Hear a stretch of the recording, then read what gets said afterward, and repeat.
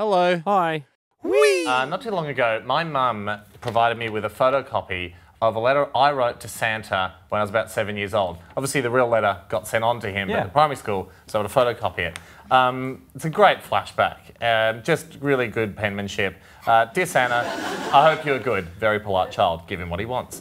Uh, please, manners, can I get a Transformer for Christmas, Auto- Optimus Prime, or an Autobot? Uh, mini basketball, 72 pack of Derwents. That's not a lot to ask for. Uh, thank you, Hamish D, because for a while I was calling myself Hamish D. That seems like the kind of kid you would give an Optimus Prime to.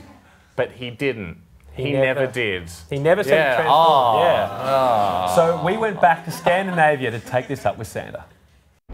We headed back to freezing Finland because I had beef with the world's most famous delivery man, Santa Claus. It's been almost 23 years, Ando, and I hope he's had fun because his life on the run comes to an end now. Well, I'm not sure if he's on the run. I think Well, he's hiding out. I think there'll be a perfectly good explanation. Tucked away on the edge of the Arctic Circle is Santa's village, and even his reindeer knew we arrived with hostile intentions. Very heavy. Oh, yep. Hello. All right. Yep. Let's not do that. Thank you, Donner. But we found the front door, and Haim was keen to kick it down. The pull. Haim had gone a bit too early because this was just the front door for the main post office of Santa, and we were met by some lovely elves. So all the letters come to here. to this place, exactly. About 600,000 every year. 600,000 letters. 600,000 letters every year. Can we see the letters? Of course you can. So we were taken through to where my letter would have arrived many years ago, and we were allowed to look through some of the 15.5 million letters that have been sent to Santa since the post office opened. And this one is Dear Farter Christmas. Give them whatever they want. I think uh, I think it's a misspell. But anyway, please can I have the following things for Christmas? Then a colon, and then it goes on to quite the list. My God. 200 items. It keeps going. 227. 285, 310. 310, 340, 350. The last item is a grocery, Grocery store. so we can just get more stuff.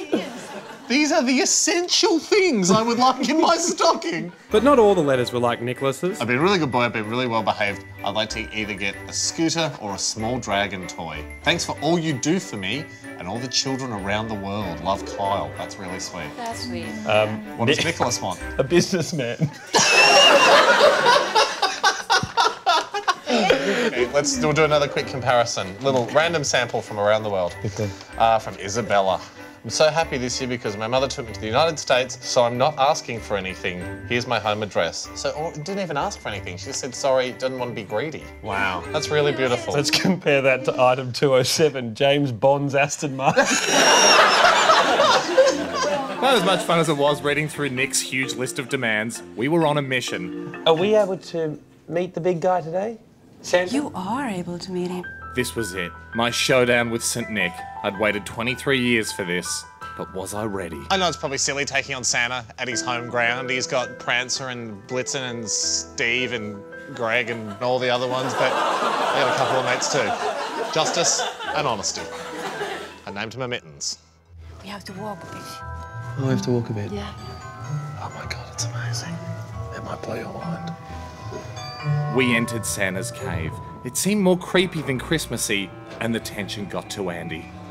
Mate, I don't want to go in. This is your battle. We've come a long way. Mate, it's your. I can only take you this far. It's okay, you're no real Sherpa, it's just a hat. I can do this. You can do it, Hamish. You can do it. If the real life actual elves thought I could do it, I also knew I could do it. Oh.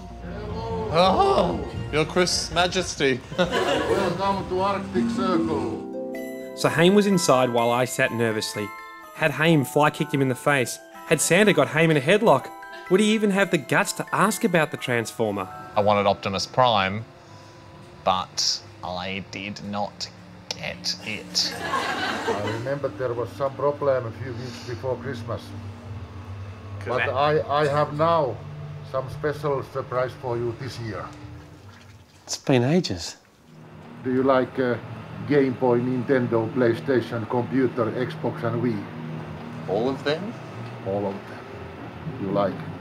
Really? Yes, yes, yes. Do you know what, Santa?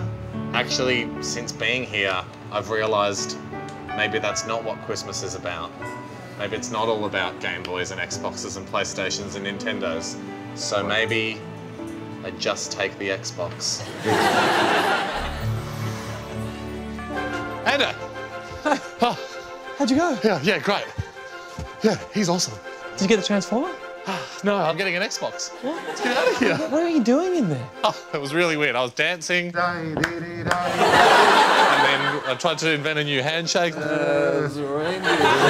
Great. I'd come all the way here for Haim to now be best friends with Santa. Thank God, Haim slipped over. Now.